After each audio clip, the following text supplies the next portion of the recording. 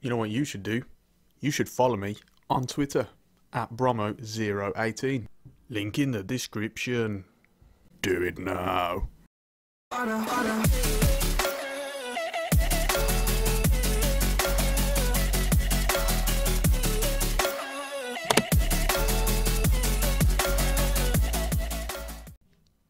Hello, everyone, and welcome back to episode 6 about Ajax FIFA 19 Career Mode Series. We are really progressing into the season now. As you can see, we are into late December, and we're really getting on with it. As I say, today it is a big one.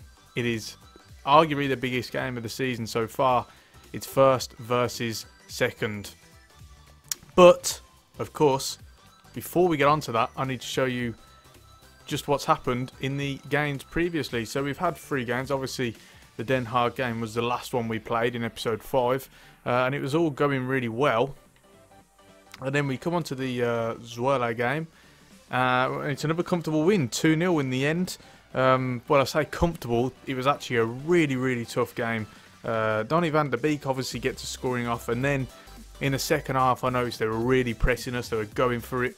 Uh, it was it was fun to play. not gonna lie, it was fun to play, but it was a big challenge. And then Lasse Schöne gets sent off in the 82nd minute, and they're really piling on the pressure. But thankfully, uh, we regroup, and then because they've committed so many men forward with what's happened, um, we managed to hit them on the counter, and Myron Boadu rounds off the scoring. So, yeah, we uh, we managed to keep up that run of run of uh, wins um, somehow, and we moved on to the next one. And in this one, I don't actually have a scoreboard to show you because um, I sort of raged, sort of raged at the end. Um, I was so fuming after the game had finished that I just I completely forgot about you know checking all the uh, minutes and stuff of the players and you know the goal scorers and the time that they've scored, and so um, just advanced on. And as a result, obviously I missed out everything. We were two 0 up uh, against Graafschap and bottled it really.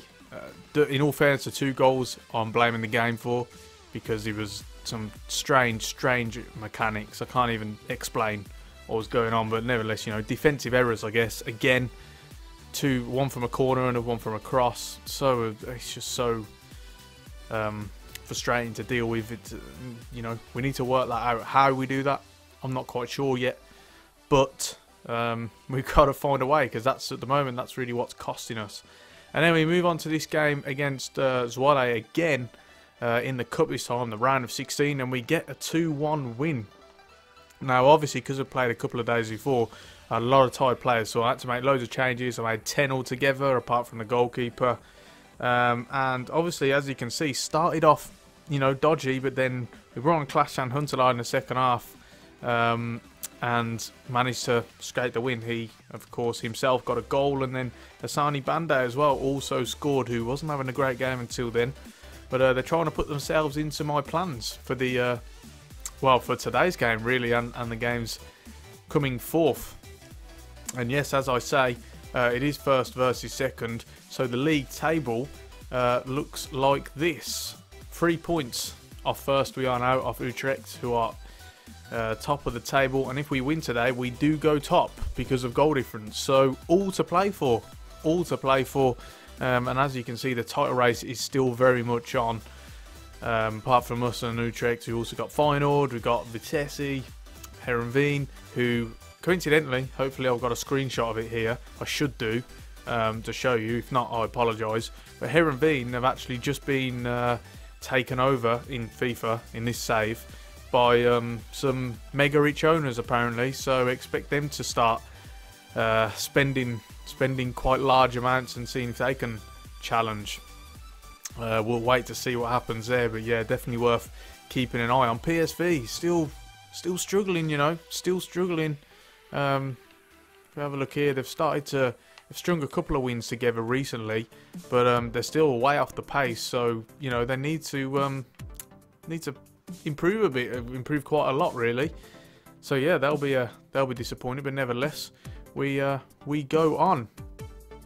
One thing I do want to mention is I've just watched the highlights uh, earlier on today of recording this of uh, Ajax in the final game. And it turns out Feyenoord uh, actually won 6-2, so hopefully we can um, try and avoid that sort of situation in this uh, in this series and particularly in such a big game like today. Just to let you know, the plan for today's episode, obviously we've got the uh, Utrecht game, and then obviously, and then after that we've got a winter break. Excuse me. So um, what we're going to do is we'll show the game, and then we'll show a little bit of transfer season. I'm going to tell you about my plans in it afterwards, and then we'll see how it goes. But now I'm going to quickly show you the lineup before we get into the big game. And let me just have a look, quick look here, actually, just in case he's back. He is back. There we go. Hakim Ziyech was, of course, injured. But um, he's fit to play, so he's going to go into the team. Daley Blind, though, I've got to say, he's played well. He has played well. And he's earned himself a place back into the squad for some reason, just in centre attacking mid it seems to be a suiting him. So, you know, we'll go with that. He's a good option anyway. But yeah, apart from that, we're going to keep with that for now. One thing you should bear in mind on, bear in mind even, is uh, Per Schuurs. He's not really had a look in this season, but I don't know why, because um, I think he could be a really, really good player and a very good option. I know he does grow to in the 80s, so I think he could be uh, getting a few um, opportunities within the next few games. Of course, we don't play for a few weeks afterwards, but yeah, keep an eye on that, guys, and see what happens. But without further ado, it is time to begin. Away we go then. I hear these two are fairly intense rivals, so hopefully we can do the supporters proud today.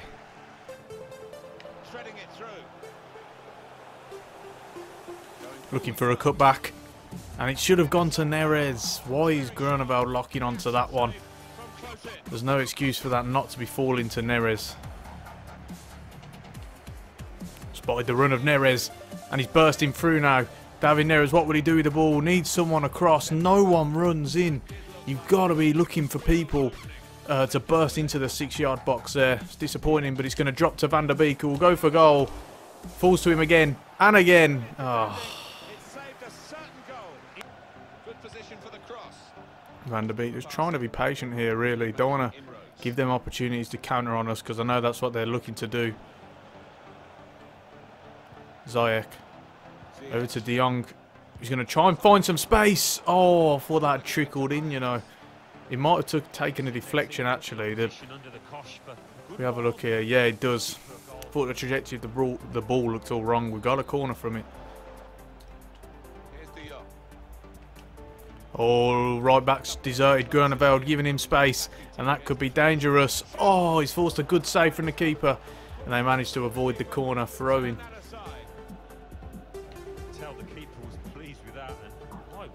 Be? At the top draw, that save. It's with De Jong.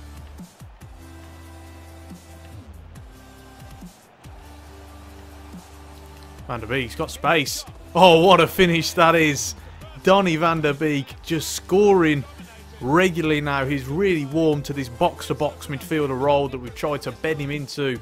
And what a finish that is. On his left peg. He's absolutely delighted. Sends the away fans absolutely delirious, really. Giving him too much space.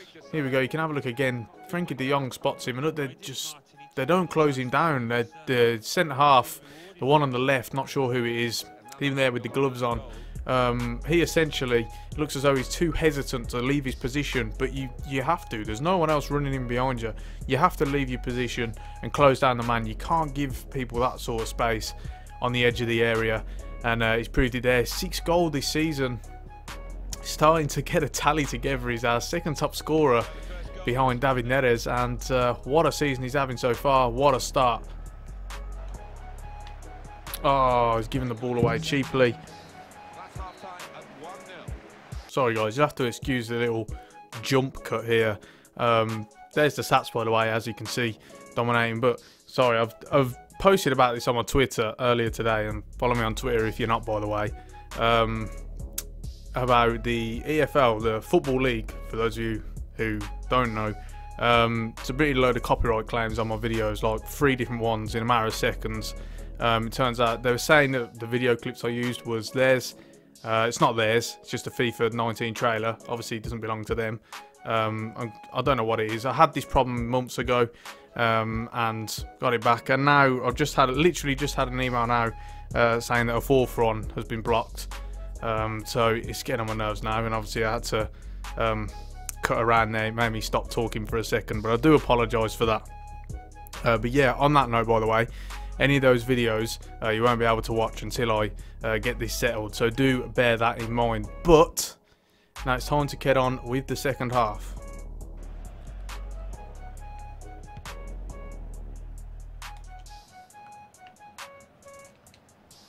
Oh, trick to Kamida Larman forward here. Groeneveld gets one off. Fights a poor touch from Ziyech. But we've got an opportunity now. Groeneveld is in. He might have to go it alone. Oh, it's a good save from the keeper. Should he score? Maybe. It's a tough one, but we managed to capitalise on their mess up. But Boadu and Ziyech just not making any sort of run, trip over each other. Um, thankfully, we, um, well, no, unfortunately, should I say, we uh, come away with only a corner. Oh, it's de Ligt there. Oh.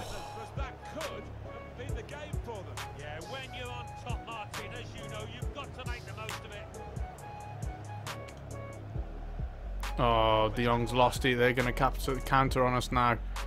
Oh, thankfully he makes a terrible decision. Why have I done that?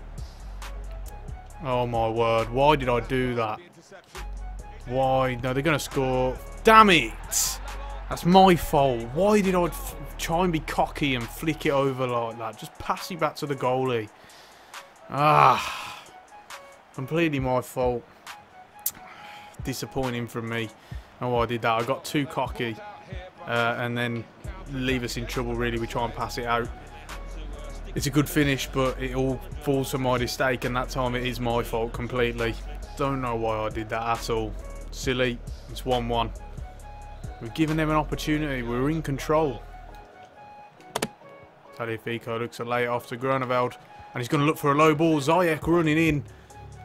Corner. What can we make subs-wise? I don't really see... I don't know. I'm not sure I see the need to. Maybe Boadu, actually. Uh, and we could bring on... Hmm... Bande. See what he can do. Boadu not really done a lot this game. Hassani Bande obviously scored in the last match. Let's see if he can do it again this time and save us.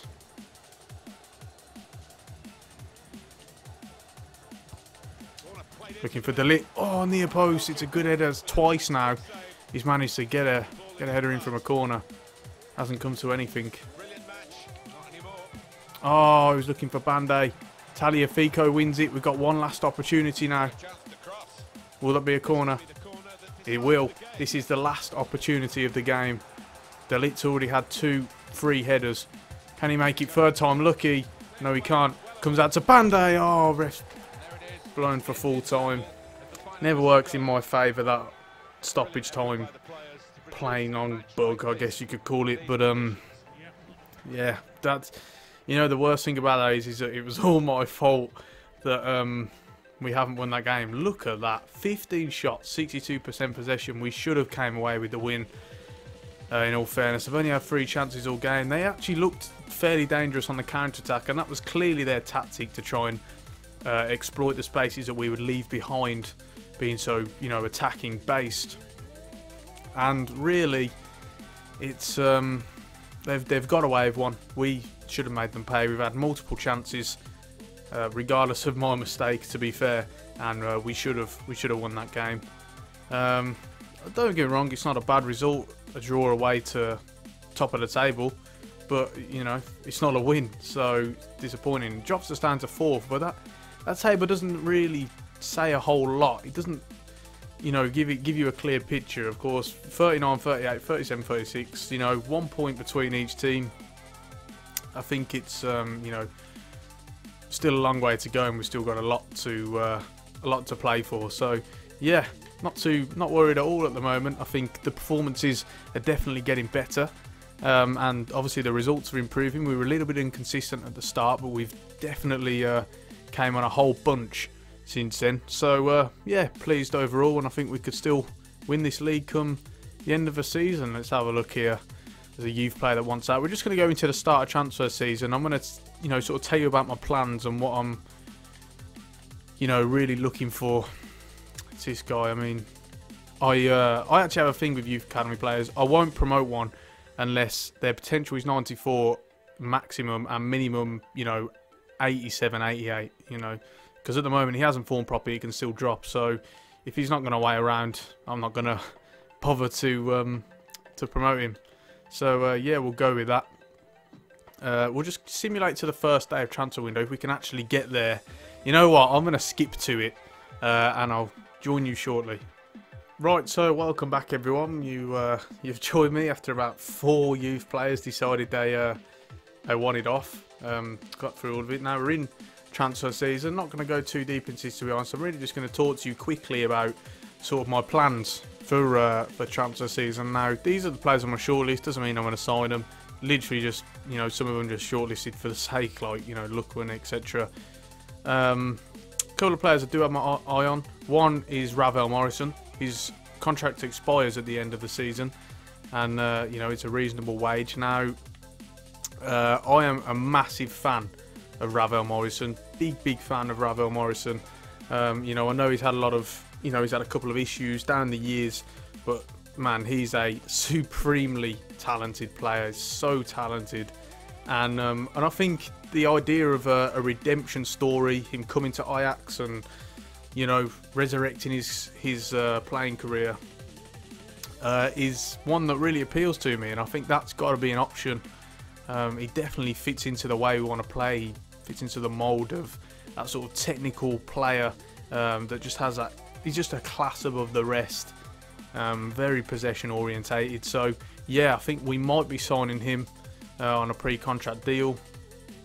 Another one was a centre back. We was looking at one, and I thought Ricky Van Drongelen would be um, a brilliant fit. Really, I had Kit Pierre in mind at first, but then Van Drongelen uh, better, really, and I and I believe higher potential. So he's an option, um, but with the added sort of, I don't know, element, I guess, of um, Per Schuurs maybe coming into the fold, then perhaps we won't need one. I don't know, but we're going to see how that goes. I think I might give him a shot in the next couple of games uh, and see how it goes. But um, yeah, that's about it really. That's just me quickly filling you in on what's going to happen in transfer window. Um, apart from that, we're ready to uh, ready to round it off there. If I have a look here, I think we'll be back for the final game. To be honest, that makes perfect sense. Um, away this time is going to be a real tough game, but I'm really looking forward to it. Hopefully, we may have made a signing or two by then, and um, you know I'll fill you in on how that happens. But for now, it's time to finish it there. So if you've enjoyed the episode, do be sure to leave a like on the video and subscribe to the channel for more regular gaming content. And on that note, I've been Bromo18, and I'll see you soon.